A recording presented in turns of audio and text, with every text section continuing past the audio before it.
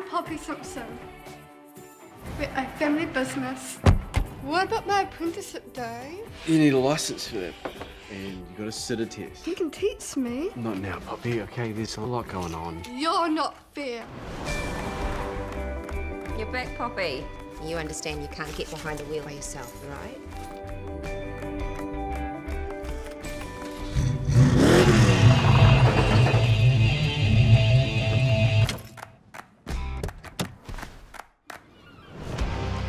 What about that sister of yours?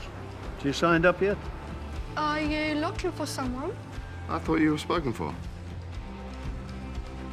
Father had very high hopes for her, you know. Hi, Luke.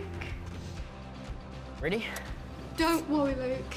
I've done it before. Bit cheeky, aren't you? Yes. Are you going somewhere? An appointment.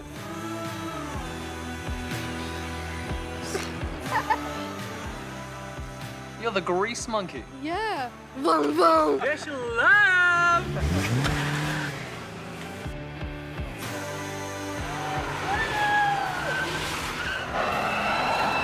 Whoa.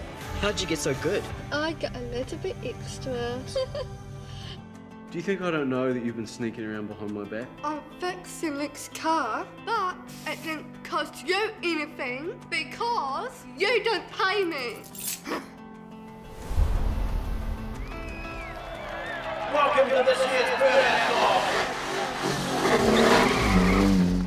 thought I told you to stay away, Burton. You don't even give her a chance.